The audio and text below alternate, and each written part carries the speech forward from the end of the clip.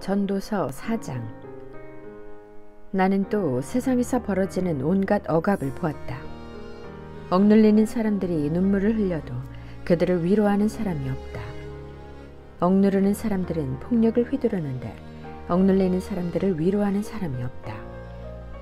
그래서 나는 아직 살아 숨쉬는 사람보다는 이미 숨이 넘어가 죽은 사람이 더 복되다고 말하였다. 그리고 이 둘보다는 아직 태어나지 않아서 세상에서 저질러지는 온갖 못된 일을 못 본 사람이 더 낫다고 하였다. 온갖 노력과 성취는 바로 사람끼리 갖는 경쟁심에서 비롯되는 것임을 나는 깨달았다. 그러나 이 수고도 헛되고 바람을 잡으려는 것과 같다. 어리석은 사람은 팔짱을 끼고 앉아서 제 몸만 축낸다고 하지만 적게 가지고 편안한 것이 많이 가지려고 수고하며 바람을 잡는 것보다 낫다. 나는 세상에서 헛된 것을 또 보았다. 한 남자가 있다. 자식도 형제도 없이 혼자 산다. 그러나 그는 쉬지도 않고 일만 하며 산다. 그렇게 해서 모은 재산도 그의 눈에는 차지 않는다. 그러면서도 그는 가끔 어찌하여 나는 즐기지 못하고 사는가? 도대체 내가 누구 때문에 이 수고를 하는가? 하고 말하니 그의 수고도 헛되고 부질없는 일이다. 혼자보다는 둘이 더 낫다. 두 사람이 함께 일할 때에 더 좋은 결과를 얻을 수 있기 때문이다. 그 가운데 하나가 넘어지면 다른 한 사람이 자기의 동물을 일으켜 줄 수 있다. 그러나 혼자 가다가 넘어지면 딱하게도 일으켜 줄 사람이 없다. 또 둘이 누우면 따뜻하지만 혼자라면 어찌 따뜻하겠는가? 혼자 싸우면 지지만 둘이 힘을 합하면 적에게 맞설 수 있다. 세 겹줄은 쉽게 끊어지지 않는다. 아무리 나이가 많아도 신하의 직언을 듣지 않는 왕은 어리석다. 그보다는 가난할지라도 슬기로운 젊은이가 더 낫다. 한 나라의 가난한 집안에서 태어나서 젊어서 감옥살이를 하다가도 임금자리에 오를 수 있다. 내가 보니 세상에서 살아 움직이는 모든 사람이 왕의 후계자가 된 젊은이를 따른다. 한 왕이 다스리는 백성의 수가 셀 수 없이 많다 하여도 그가 물러나면 어느 누구도 그의 업적을 찬양하지 않으니 왕으로서 통치하는 것도 헛되며 바람을 잡으려는 것과 다를 바 없다. 5장 하나님의 집으로 갈 때에 발걸음을 조심하여라. 어리석은 사람은 악한 일을 하면서도 깨닫지 못하고 재물이나 바치면 되는 줄 알지만 그보다는 말씀을 들으러 갈 일이다. 하나님 앞에서 말을 꺼낼 때에 함부로 입을 열지 말아라. 마음을 조급하게 가져서도 안 된다. 하나님은 하늘에 계시고 너는 땅 위에 있으니 말을 많이 하지 않도록 하여라. 걱정이 많으면 꿈이 많아지고 말이 많으면 어리석은 소리가 많아진다. 하나님께 맹세하여서 서원한 것은 미루지 말고 지켜라. 하나님은 어리석은 자를 좋아하지 않으신다. 너는 서원한 것을 지켜라. 서원하고서 지키지 못할 바에는 차라리 서원하지 않는 것이 낫다. 너는 혀를 잘못 놀려서 죄를 짓지 말아라.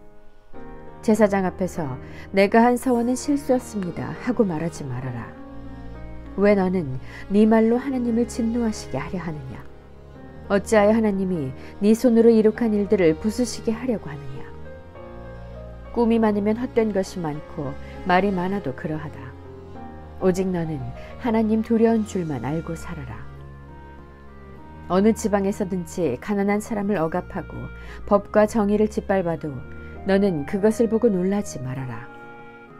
높은 사람 위에 더 높은 이가 있어서 그 높은 사람을 감독하고 그들 위에는 더 높은 이들이 있어서 그들을 감독한다.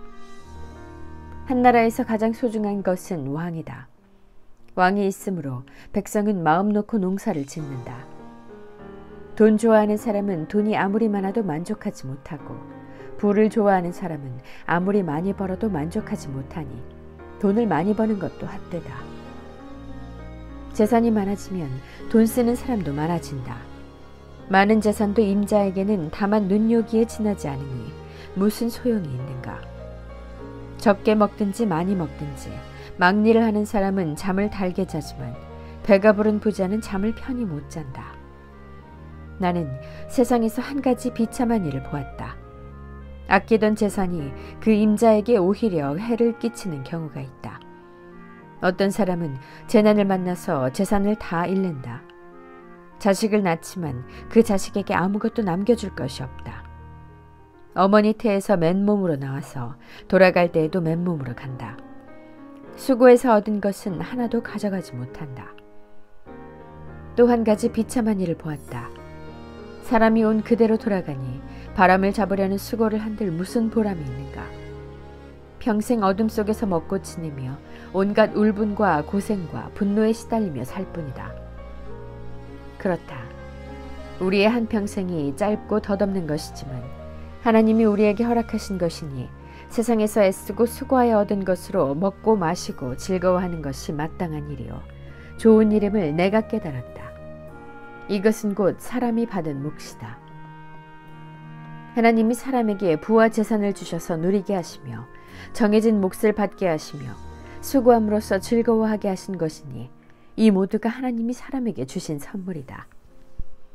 하나님은 이처럼 사람이 행복하게 살기를 바라시니 덧없는 인생살이에 크게 마음 쓸 일이 없다. 6장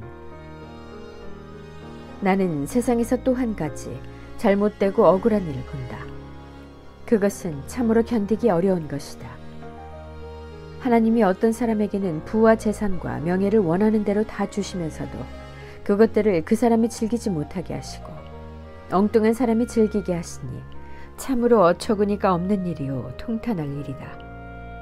사람이 자녀를 100명이나 낳고 오랫동안 살았다고 하자. 그가 아무리 오래 살았다고 하더라도 그 재산으로 즐거움을 누리지도 못하고 죽은 다음에 제대로 묻히지도 못한다면 차라리 태어날 때에 죽어서 나온 아이가 그 사람보다 더 낫다. 태어날 때에 죽어서 나온 아이는 뜻없이 왔다가 어둠 속으로 사라지며 그 속에서 영영 잊혀진다. 세상을 보지도 못하고 인생이 무엇인지 알지도 못한다. 그러나 이 아이는 그 사람보다 더 편하게 안식을 누리지 않는가. 비록 사람이 천년씩 두 번을 산다고 해도 자기 재산으로 즐거움을 누리지도 못하면 별 수 없다. 마침내는 둘 다 같은 곳으로 가지 않는가. 사람이 먹으려고 수고를 마다하지 않지만 그 식욕을 채울 길은 없다. 슬기로운 사람이 어리석은 사람보다 나은 것이 무엇인가? 가난한 사람이 세상 살아가는 법을 안다고 해서 무슨 소용이 있는가? 이것 또한 헛되고 바람을 잡으려는 것과 같다. 가지고 있는 것으로 만족하는 것이 욕심에 사로잡혀서 헤매는 것보다 낫다. 지금 있는 것은 무엇이든지 이미 오래전에 생긴 것이다.